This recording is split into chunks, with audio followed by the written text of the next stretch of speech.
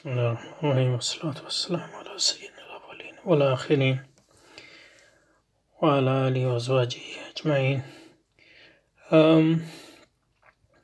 یہاں تک پہنچے تھے، اس لیے کہ یہ یہ کر لیا ہم نے، اس لیے کہ یہ فکر ہو، یہ وجدان، احوال و واردات، یہ مدرکات، یہ حواس، یہ سب علم ہی کا تار و پود ہے۔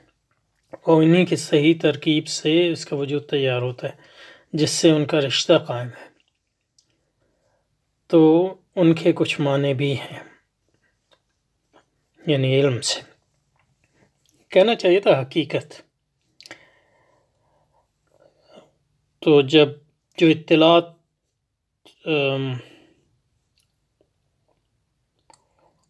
میسر ہوتی ہیں، اگر وہ حقیقت سے لگا کھاتی ہیں تو علم بن جاتا، ورنہ ورنہ علم نہیں ہوتا۔ لیکن جس میں ذرا سا بھی فرق آیا تو پھر فکر کا رشتہ علم سے کٹ جائے گا۔ صحیح ترکیب سے اس کا وجود تیار ہوتا ہے۔ انہی کی صحیح ترکیب سے اس کا وجود تیار ہوتا ہے علم کا۔ جس سے ان کا رشتہ قائم ہے تو اس کے کچھ معنی بھی ہیں۔ انہی علم سے لیکن جس میں ذرا بھی فرق آئے اس رشتے میں تو پھر فکر کا رشتہ علم سے کٹ جائے گا۔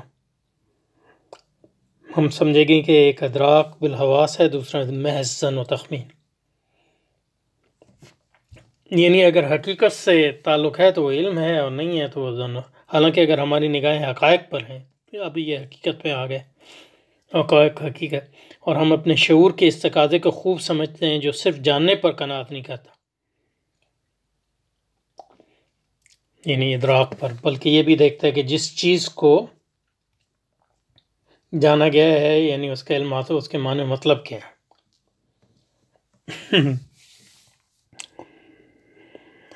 اگر معنی مطلب نہیں پتا تو اس کا مطلب پورا علم نہیں ہے۔ وہ صرف جو ہے محض ادراک ہے۔ کیونکہ اگر معنی مطلب نہیں پتا تو یہ کہتے پتہ چلے گا آپ کو کہ وہ حقیقت کے مطابق ہے کہ نہیں؟ تو ان میں بہم کوئی مغارت مغایرت نہ رہے گی۔ کن میں؟ جاننے اور علم میں۔ دراصل ہمیں کہنا یہ چاہیے تھا کہ کسی شے کا جاننا اس کے معنی مطلب کو سمجھنا ایک ہی بات ہے۔ تو پھر اس میں آ گیا علم کا کام بھی حکم لگانا ہے، وہ بھی ایک تصدیق ہے۔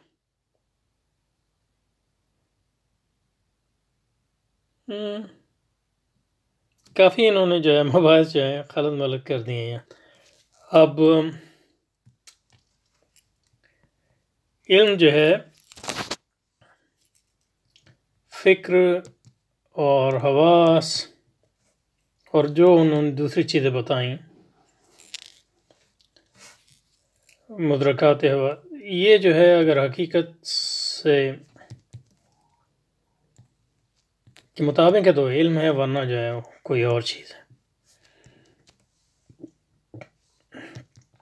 لیکن اب جب ہم کہتے ہیں کہ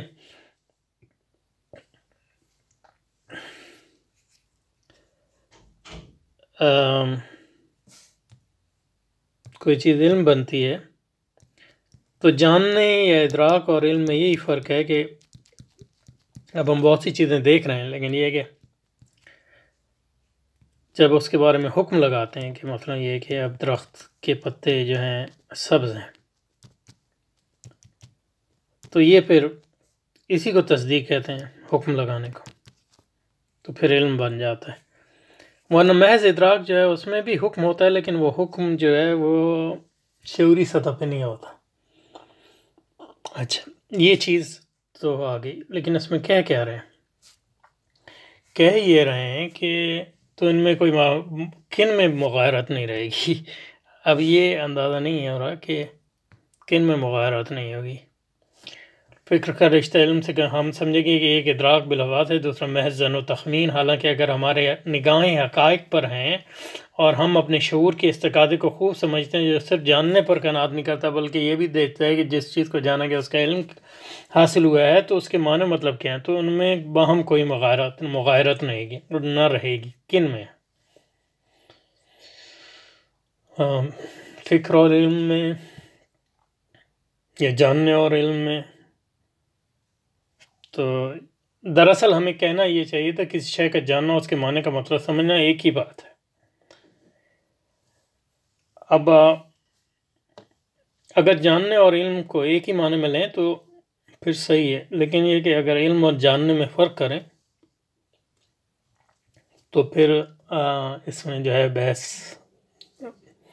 طلب ہے یہ بات۔ دراصل ہمیں یہ کہنا چاہیے کسی شے کا جاننا اس کے معنی مطلب کو سمجھنا ایک بات۔ اس لیے کہ علم کا کام بھی حکم لگانا ہے۔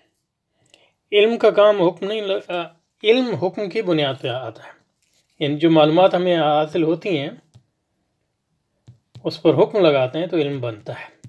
اور پھر علم جب حاصل ہو جاتا ہے، اس کی بنیاد پر بھی آپ حکم لگا سکتے ہیں۔ تو یہ دو الگ چیزیں ہیں۔ ان کو غلط غلط نہیں کرنا چاہیے۔ وہ بھی ایک طرح سے، اس لیے کہ علم کا کام بھی حکم لگا وہ بھی۔ لہذا فکر اور علم ایک ہی عمل کے دو پہلو ہیں۔ فکر اور علم ایک ہی عمل کے دو پہلو ہیں۔ یعنی دوبارہ پڑھیں ذرا۔ اب جو کہہ رہے ہیں کہ اس لیے علم کا کام بھی حکم لگانا، وہ بھی ایک تصویر لہذا فکر اور علم ایک ہی عمل کے دو پہلو ہیں۔ جن اب فکر، علم اور فکر اور علم ایک ہی عمل کے دو پہلو ہیں۔ کن معنوں میں؟ یعنی فکر اور علم جو ہے ایک ہی عمل کے دو پہلو کن معنوں میں؟ یہ فکر ہے۔ یہ فکر اگر حقیقت کے مطابق ہو تو یہ علم بن جاتی ہے۔ تو اس کہنے کا کیا مطلب ہے کہ ایک ہی عمل کے دو پہلو ہیں؟ یعنی کہہ سکتے ہیں کہ مطلب یہ کہ فکر جو ہے بالقوہ علم ہے یعنی پوٹینشلی اور علم جو ہے وہ فکر ہے جو عملاً علم ہے۔ بہرحال اس کی بنیاد پہ یہ بات کیا کریں گے وہ زیادہ اہم ہے۔ تو اس کو پڑھتے ہیں پہلے۔ اچھا تو وہ بھی ایک تصدیق ہے۔ لہذا فکر اور علم ایک ہی عمل کے دو پہلو ہیں جن کا توازن قائم ہے، تو اس پر بحث و ندا کا سلسلہ خود بخود ختم ہو جائے گا۔ توازن کیا مطلب؟ یعنی توازن کا مطلب یہ ہو سکتا ہے کہ مطلب فکر کو علم سے زیادہ الگ نہ کیا جائے یعنی فکر کو اتنی آزادی نہ دی جائے کہ وہ حقیقت کا تصور ہی جیسے فلسفے میں ہوتا ہے۔ حقیقت کی جو ہے پرواہ ہی نہیں ہے لوگوں کو۔ یعنی اب رستو کا نظام ہے افلاطون کا نظام ہے۔ خاص طور پہ افلاطون کا نظام جو بڑا ذن و تخمین پر مبنی ہے، تو وہ افکار تو بہت ہیں اس میں۔ لیکن اس کی اس نے کوئی پہلو نہیں کی۔ تو افکار ضروری ہیں۔ میرے خیال میں وہ کہنا جو چاہ رہے ہیں وہ یہ ہے کہ جو بات کر رہے ہیں وہ یہ بات کر رہے ہیں کہ فکر جو ہے فکر میں ہمیں آزادی ہوتی ہے ان معنوں میں آزادی ہوتی ہے کہ فکر میں ہمیں آزادی ان معنوں میں ہوتی ہے۔ فکر میں کہ ہمیں حقیقت کی زیادہ پرواہ نہیں ہوتی۔ ہم دیکھتے ہیں کہ تصورات کی بنیاد پہ ہم حقیقت کی کیا کیا کسی بھی مسئلے پہ کیا کیا سوچ سکتے ہیں۔ تو ان معنوں میں جو ہے وہ ایک آزادی ہے۔ تو اس سے جو ہے تصورات، نئے تصورات پیدا کرنے میں جنریٹ کرنے میں مدد ملتی ہے۔ تو یہ ایک اچھی چیز ہے۔ لیکن یہ کہ پھر اس میں یہ بھی ہونا چاہیے کہ جب آپ یہ کر لیا تو پھر اس کو حقیقت سے یہ بھی اس اس پہ بات ہونی چاہیے کہ اس کا حقیقت سے کیا تعلق ہے۔ تو میرا خیال ہے جو توازن کی بات یہ کر رہے ہیں، وہ یہی کہہ رہے ہیں کہ مطلب یہ کہ فکر کو بالکل ہی مطلب حقیقت سے الگ نہیں کرنا چاہیے۔ یعنی ایک اچھی بات ہے فکر کو جو ہے تھوڑی آزادی دی جائے تاکہ وہ مختلف حقیقت کے مختلف ممکنہ پہلوؤں پر سوچ سکے۔ لیکن یہ ہے کہ بالآخر جو ہے اس کو حقیقت سے جوڑنا چاہیے، ورنہ جو ہے ہمیں، ہمارا جو رشتہ جو ہے حقیقت سے وہ بالکل کٹ جائے گا اور حقیقت سے کٹے گا تو سچائی سے بھی کٹ جائے گا اور علم سے بھی کٹ جائے گا۔ تو یہ میرا خیال ہے، کہنا چاہ رہے ہیں تو آگے چلتے ہیں۔ تو جن کا تمام تو اس میں بحث و نظا کا سلسلہ خود بخود ختم ہو جائے گا، جو اس وقت پیدا ہوتا ہے جب ہم یہ دیکھتے ہیں کہ ہمارے علمی نظریات اور فلسفیانہ تصورات، یا فلسفیانہ تصورات اور علمی نظریات باہم دیگر متفاوت اور اس لیے حقاق حق یا دوسرے لفظوں میں ایمان و یقین کے لیے لا حاصل ہیں۔ یعنی یہاں علم سے ان کے وہ مراد سائنس بھی لے رہے ہیں۔ تو بہرحال دیکھیں۔ بات وہی کہہ رہے ہیں جو میں نے کہی کہ مطلب یہ کہ توازن جب لگتا ہے، جب آپ صرف فلسفہ جو ہے فکر کی بنیاد پہ تصورات کرتا ہے اور یہ بھول جاتا ہے کہ مطلب یہ ہے کہ ان تصورات کو بالآخر جو ہے، حقیقت کی کسوٹی پہ جانچ کر، اس کی علمی حیثیت کو بھی جانچنا پڑے گا، ورنہ مطلب یہ ہے کہ وہ تصورات جو ہے بالآخر اس کی کوئی حیثیت نہیں ہے، بغیر حقیقت سے اس کا تعلق جوڑے۔ تو وہ بھی لہذا فکر اور علم کا ایک ہی فکر اور علم ایک ہی عمل کے دو پہلو ہیں جن کا توازن قائم ہے، تو اس اس بحث میں ندا کا سلسلہ خط خود بخود ختم ہو جائے گا، جو اس وقت پیدا ہوتا ہے جب ہم دیکھتے ہیں کہ ہماری علمی نظریات اور فلسفیانہ تصورات یا فلسفیانہ تصورات اور علمی نظریات باہم دیگر متفاوت، اور اس لیے ایک حق یا دوسرے لفظوں میں ایمان و یقین کے لیے لا حاصل ہیں۔ کیونکہ وہ صرف تصورات پر مبنی ہیں یا نظریات۔ پر اب علمی نظریات اور ان کے فلسفیانہ تعبیر یا فلسفیانہ تصورات اور ان کی علمی تنقید تو ایک نظری مسئلہ ہے۔ نظری مسئلہ کیوں ہے؟ عملی مسئلہ بھی ہے، کیونکہ علمی مسئلہ ہے اور عمل کی بنیاد علم بھی ہونی چاہیے۔ مثلا یہ کہ، تو کہنے کا مقصد یہ ہے کہ علمی نظریات جب حقیقت سے ان کا آپ تعلق جوڑتے ہیں تو وہ عمل کی بنیاد بنتے ہیں اور فلسفیانہ نظرات کے، جب حقیقت سے اس کا جوڑ جوڑتے ہیں تو وہ عمل کی بنیاد بنتے ہیں اور لیکن مسئلہ یہ ہے کہ علمی نظریات کو حقیقت کے مطابق جانچنا آسان ہے، کیونکہ علمی نظریات زیادہ تر اس حقیقت کے مطابق ہوتے ہیں جس کو ہم، جس تک ہماری کوئی رسائی ہے۔ تو علمی نظریات کو حقیقت کی کسوٹی پر جاننا آسان لیکن فلسفیانہ فلسفیانہ نظرات زیادہ، نظریات جو زیادہ تر جس حقیقت کے بارے میں ہوتے ہیں اس حقیقت ہماری رسائی نہیں ہے۔ اور یہ سب سے بڑا مسئلہ ہے، اس لیے مطلب یہ ہے کہ فلسفیانہ نظریات کا کہ وہ جس حقیقت کے بارے میں ہے اس حقیقت تک ہماری رسائی نہیں ہے، تو پھر اس حقیقت تک جب ہماری رسائی نہیں ہے، تو اس کا مطلب ہے فلسفیہ نظریات کے لیے علم بننا بڑا مشکل ہے۔ اور پھر جب علم نہیں بنیں گے تو پھر اس کی بنیاد پہ جو ہمارا عمل ہوگا وہ بھی جو ہے کسی محکم محکم اساس پر قائم نہیں ہوگا۔ لیکن جو حضرت نیاز صاحب کہہ رہے ہیں، یہ ایک نظری مسئلہ یہ غلط بات ہے۔ چاہے علمی نظریات ہوں یا فلسفیانہ نظرات نظریات ہوں، ان کا حقیقت سے تعلق جو جوڑنا نظری مسئلہ نہیں ہے۔ صرف نظری مسئلہ نہیں ہے، کیونکہ فلسفیانہ نظریات کا بھی عمل سے تعلق ہے اور علمی نظریات کا بھی عمل سے تعلق ہے۔ اور فلسفیہ علمی نظریات جو ہیں وہ ہمارے دنیاوی عمل کی کامیابی کے لیے ضروری ہیں، فلسفیانہ نظریات ہماری عمومی سعادت کے لیے ضروری ہیں۔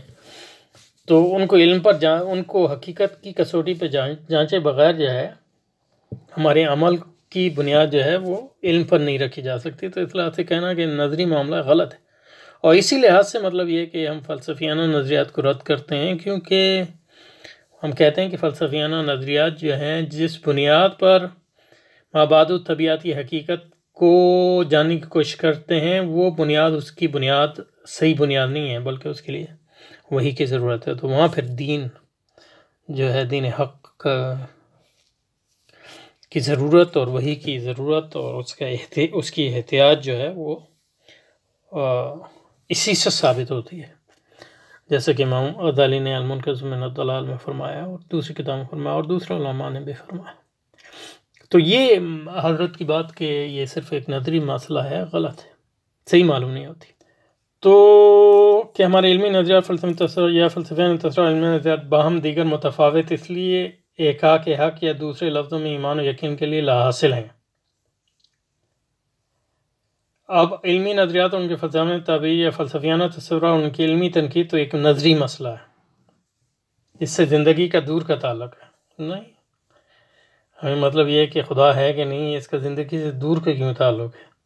یہ یہ کہ مطلب ہماری علمی نظریات جو ہیں وہ صحیح ہیں کہ نہیں؟ مطلب یہ کہ اب ماحول کے بارے میں جو ہے، جو نظریات ہیں اگر وہ صحیح ہیں تو ایک زندگی پہ اس کا اثر ہوگا صحیح نہیں ہے تو دوسرا اثر ہوگا۔ تو یہ کہنا کہ وہ دن دور سے ان کا تعلق نہیں، یہ بالکل صحیح معلوم نہیں ہوتا۔ لیکن ایمان و یقین کی دنیا اگر علم اور غور فکر کی دنیا سے الگ رہی اور حق کا وجود مستوی ہوگا تو یہ بڑی، بڑا تشویشناک ہوگا۔ لیکن مطلب یہ کہ یہ بھی تشویشناک ہے کہ حضرت دین یادی صاحب نے ایمان اور یقین کو علم اور علم سے الگ کر دیا یہاں تو کہہ یہ رہے ہیں کہ اس کی وضاحت کرتے ہیں اس کے بعد پھر اس پہ رکیں گے انشاءاللہ۔ کہہ یہ رہے ہیں کہ تو ہمارے پاس تین چیزیں ہیں۔ فلسفیانہ نظریات علمی نظریات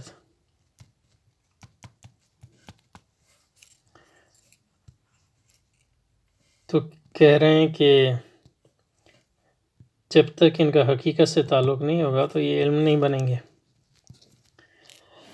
لیکن کہہ رہے ہیں کہ اس مسئلے کا زندگی سے کوئی تعلق نہیں ہے۔ تو وہ میں نے کہا کہ وہ صحیح نہیں ہے۔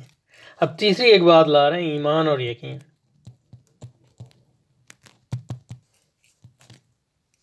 تو ایمان اور یقین جو ہے وہ کہہ رہے ہیں کہ اس کا زندگی سے تعلق ہے۔ تو اس سے تو یہ پتہ چل رہا ہے کہ ایمان اور یقین جو ہے نہ علم ہے نہ فلسفہ ہے، تو پھر وہ کیا ہے ایمان؟ اور حالانکہ مطلب یہ ہے کہ ایمان و یقین فلسفے میں بھی ایمان و یقین چاہیے۔ یعنی فلسفی کے یہاں بھی ایمان و یقین اب اس کا یقین اور ایمان الگ ہے۔ اور سائنسدان کا بھی ایمان و یقین ہوتا ہے۔ مختلف جو اس کے نظریات ہیں اس پہ یا اس کی جو بنیادی ایگزیمز ہیں ان پر۔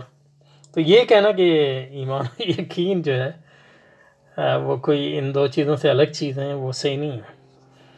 جو صحیح بات ہے، وہ صحیح بات یہ ہے کہ جو ہمارا علم ہے، اس کی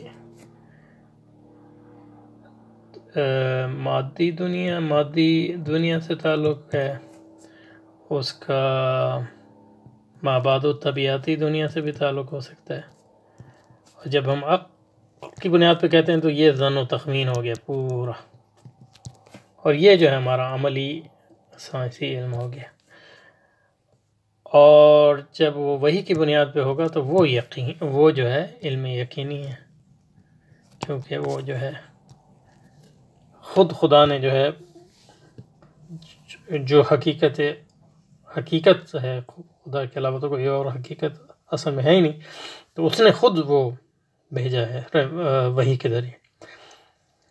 تو یہ کہنا کہ یہ وہی علم نہیں، یہ غلط وہی کی بنیاد پہ جو ہے وہی علم ہے، اور تو کوئی علم ہے ہی نہیں، باقی زن و تخبیر کے مختلف درجات ہیں۔ اور یہ کہنا کہ مطلب ایمان و یقین جو ہیں وہ علم اور فلسفے سے کوئی الگ چیز ہیں اور یہ سمجھنا کہ علم کی بنیادی ایمان و یقین نہیں ہوتا اور فلسفے کی بنیادی ایمان و یقین نہیں ہوتا، صرف جو ہے وہی اور دین کی بنیاد جو ہے، علم و یقین ایمان و یقین ہوتا ہے یہ غلط بات ہے۔ اور اس سے یہ تصور مل رہا ہے کہ ایمان و یقین کی بنیاد علم نہیں ہے، جو کہ بالکل ایک غلط تصور ہے۔ تو کہہ رہے ہیں کہ دوسرے لفظ میں جب ہم یہ دیکھتے ہیں کہ ہمارے علمی نظریات و فلسفہ تصورات یا فلسفیانہ تصورات اور علمی نظریات یا باہم دیگر متفاوت ہیں یعنی ایک دوسرے سے متضاد ہیں، اور اس لیے ایک ہے کہ یہ دوسرے لفظ میں ایمان و یقین کے لیے لاحاصل ہیں۔ لاحاصل اس لیے ہیں کہ وہ تضادات پر مبنی ہیں۔ میں نہیں سمجھتا کہ یہ ایمان و یقین کے لیے لاحاصل ہیں۔ فلسفے اور علم، علوم کی بنیاد ایمان و یقین کے اضافے کی بھی باعث بن سکتے ہیں۔ یہ اس پہ مبنی ہے کہ آپ فلسفے اور علم کو کن معنوں میں لیتے ہیں۔ اگر ان کو آپ جو ہے بالکل وہی کا مقابل سمجھیں تو یہ غلط ہے۔ لیکن یہ کہ اگر آپ سمجھیں کہ اپنے دائرے میں ان کا ایک مقام ہے کیونکہ اللہ تعالیٰ نے ہمیں عقل دی ہے اور حواس دی ہیں، تو ان کے ذریعے سے یعنی مطلب یہ کہ علوم حاصل ہوتے ہیں، حواس اور عقل کی ملاپ سے۔ اور جو فلسفہ بنتا ہے، وہ جب ہم عقل اور حواس کو حقیقت کی جو تحدید ہے، اس سے آزاد چھوڑ کر، اس کو مطلب یہ ہے کہ خیال کی دنیا میں جو ہے، اس کو تصورات کی دنیا میں تگو دعا کرنے کے لیے عادات چھوڑ جاتے ہیں تو اس سے فلسفیانہ تصورات تصورات برآمد ہوتے ہیں تو ان سب کا زندگی سے تعلق ہے۔ تو یہ کہنا کہ کیونکہ فلسفیانہ تصورات علمی نظریات ایک دوسرے کے مخالف ہیں تو، اور وہ ایک کے حق۔ اس لیے وہ ایمان یقین ان کے لیے لا حاصل ہیں، یہ بھی صحیح نہیں ہے کیونکہ ایسے علوم اور ایسے فلسفے بھی ہیں جو علم اور ایمان اور یقین کی بنیاد بنتے ہیں، ان کو استعمال کرتے ہیں اور مسلمانوں نے ہمیشہ کیا۔ کیونکہ قرآن باب مجید میں فرمایا سنوریم آیات نافل آفاق وفی انفسم حتی یتبین لهم الحق من ربهم. یعنی کائنات پر جو غور و فکر اور مشاہدہ ہے، جو علوم اور فلسفے فلسفے کی بنیاد ہے، اس کی بنیاد پہ قرآن نے کہا، ہم تم تمہیں تم تم پر یہ وعدے کریں گے کہ یہ قرآن جو ہے اللہ کی طرف سے حق ہے۔ تو یہ کہنا کہ فلسفیانہ تصورات اور علمی نظریات باہم دیگر متفاوت ہیں، اس لیے ایک کہا کہ دوسرے لفظوں میں ایمان یقین کے لیے حق لا حاصل ہیں، یہ بھی غلط ہے۔ لا حاصل ہو سکتے ہیں جب آپ ان کو، ان کی جگہ، ان کا جو اصل مقام ہے، اس سے ہٹائیں۔ اصل مقام ان کا یہ ہے کہ ہمارے وہ حواس اور عقل کی بنیاد پر علوم بھی قائم ہیں اور فلسفہ بھی قائم ہے۔ اور ہمارے حواس اور ہمارے جو عقل ہے، وہ ایک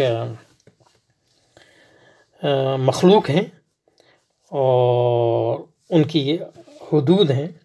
اور ہماری اپنی حدود ہیں اور ہر ایک کا ذہن جو ہے، اس کی رسائی کی بھی حد ہے۔ تو اس کی بنیاد پہ جو ہمیں علم حاصل ہوتا ہے، وہ بھی مطلب یہ ہے کہ کبھی بھی مکمل نہیں ہوتا، کبھی بھی غلطیوں سے پاک نہیں ہوتا۔ تو اگر اس چیز کو ہم قبول کر لیں اور یہ قبول کر لیں کہ جو حقیقت اولیاء ہے، اس تک ان چیزوں کی پہنچ نہیں ہے، بلکہ ہم اس بات کے محتاج ہیں کہ اللہ تعالیٰ ہدایت نازل کرے وہی کے ذریعے، تو وہی پھر جب آ جاتی ہے اور اس پر ہم وہی کو قبول کریں، تو اور وہی کی تناظر میں علم اور فلسفے کو دیکھیں، تو پھر وہ مطلب یہ اس سے جو ہر قسم کا فائدہ ملتا ہے، ایمان میں بھی اضافہ ہوتا ہے، یقین میں بھی اضافہ ہوتا ہے۔ اب علمی نظریات اور ان کی فلسفیانہ تعبیر یا فلسفیانہ تصورات اور ان کی علمی تنقید تو ایک نظری مسئلہ ہے۔ نظری مسئلہ نہیں ہے، جس سے زندگی کا دور کا تعلق نہیں نہیں، ان کا دور، زندگی سے بڑا گہرا تعلق لیکن ایمان و یقین کو دنیا اگر علم اور غور و فکر کی دنیا سے الگ رہی اور حق کا وجود مشتبہ ہو گیا، تو یہ بڑا تشویشناک بدل یہ بھی صحیح ہے۔ ایمان کی بنیاد علم ہے لیکن وہ علم علم الہی ہے۔ اور باقی جو ہمارا علم ہے، اس کی اس کی اپنا ایمانیات ہیں، جس کو ہم ایکسیمس کہتے ہیں اور فلسفے کی اپنی ایمانیات ہیں۔ تو یہ کیا، یہ صحیح ہے کہ ایمان و یقین کی بنیاد علم ہونا چاہیے۔ لیکن علم کی بنیاد بھی علم ہی ہونی چاہیے اور فلسفے کی بنیاد بھی علم ہونی چاہیے۔ اس صورت میں یا تو ہم اپنے آپ کو علم کے اشارے پر چھوڑ دیں گے یا عقل کی رہنمائی قبول کرتے ہوئے اس سے وہ کام لیں گے جس کی در در حقیقت وہ اہل نہیں۔ وہ ٹھیک ہے۔ یا پھر خواہش ہوگی کہ دونوں کو زندگی سے بے دخل کر دیں جو قطعی ناممکن ہے۔ ٹھیک ہے، تو یہاں رکتے ہیں انشاءاللہ، تو اس پہ اگلی بار جو ہے انشاءاللہ یہیں سے جاری رکھیں